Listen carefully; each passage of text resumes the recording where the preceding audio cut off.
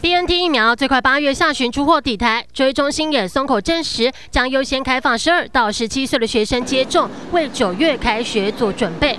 BNT 的话 OK 啊，啊，你们愿意打 BNT 吗？愿意啊。嗯，要看吧，你要看什么？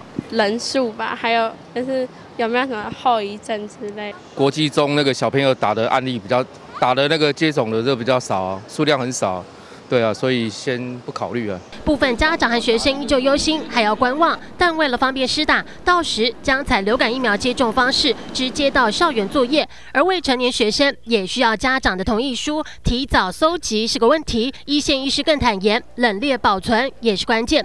以流感疫苗为例，只要在二到八度即可，但 BNT 疫苗要负六十度以下，超低温冷冻保存，因此必须当天迅速打完。那如果没有办法说很明确的知道数，数量，而反而让这个疫苗在配送的过程，因为他会担心有一些需要冷链保存跟配送的这个要求会比较多的情况之下，那假如在多次配送，有可能会影响到疫苗的品质。呃，十五、十六岁或者是这种十七八岁的小朋友，基本上他们可能对疫苗的接受度或者是耐受性上也相对会比较高。医师建议，从年纪大的开始施打，不适感会少一些。要是打完后出现不良反应，根据国教署规定，有疫苗假。